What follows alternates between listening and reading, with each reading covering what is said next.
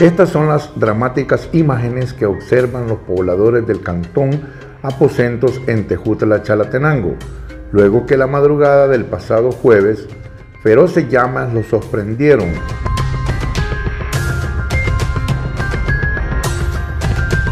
Una pipa que transportaba gas propano se accidentó en el lugar.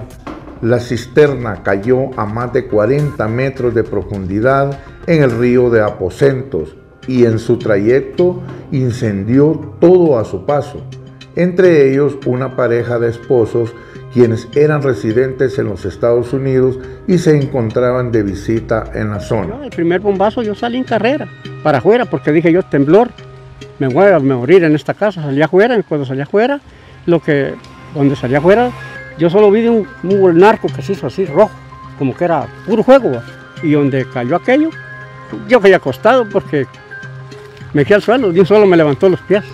¿sí? Y allí donde oí los gritos del hermano, allá salí en carrera, me fui y el agua estaba hirviendo del río, hirviendo estaba. Y entonces me pasé y me aventé el cerco, donde toqué el cerco tenía corriente. Y como pude agarrar unas bolsas y me pasé y agarré la llave que él me la dio y la, abrí la, puerta, aquel humo chiloso como que era fuego. Y le saqué la puerta y ya empezaron a salir ellos afuera, a agarrar aire. Todo, todo, el cuerpo quemado, sin ropa, quemado. El, papá de él murió. ¿Murió ayer? Sí, ayer, sí. la, mi hermana está, en el hospital. ¿Está grave? Está grave, sí. El, del trailer gritaba que lo desatraparan porque estaba atrapado. sin duda como que se había quebrado una mano y el pie. Ese le gritaba, pero ¿cómo iba a ir allá y allá? No podía. Yo deseaba ir a hacerme dos quizás, y a ir a ver el hombre porque gritaba. Eh, nosotros pensábamos que era un accidente, sí sabíamos que era de rastra, pero no sabíamos que era una pipa.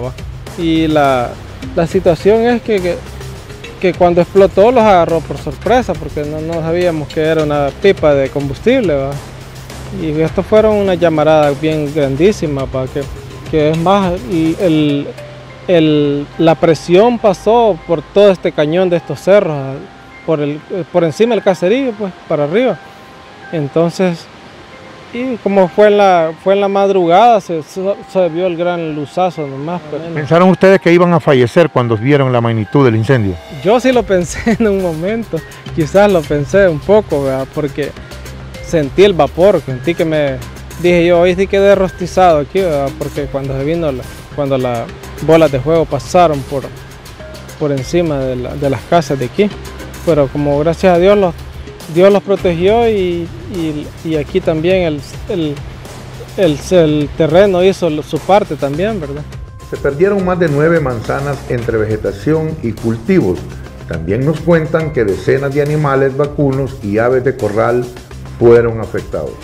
Ha destruido cultivos, tenemos los cultivos del costado derecho, que son casi que malamente como una, dos, tres, cuatro, cuatro manzanas, cuatro, cuatro manzanas de milpa de cultivo que están dañados, porque usted sabe que el insumo de gas propano es un tóxico. Esas cosechas posibles van a salir dañadas. Entonces queremos que el señor, pues ahí Bukele, el presidente, se haga presente, o si no se hace presente, que mande una inspección a ver y de estos daños que colabore en algo con las personas. Yo tengo una vaca quemada y este caballo quemado, más que todo está quemado.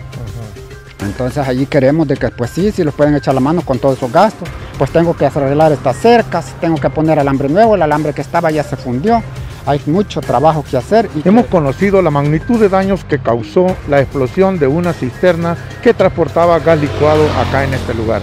Desde el cantón Los Aposentos, en Tejutla, Chalatenango y con imágenes de Erika Alberto, informó Juan Urias.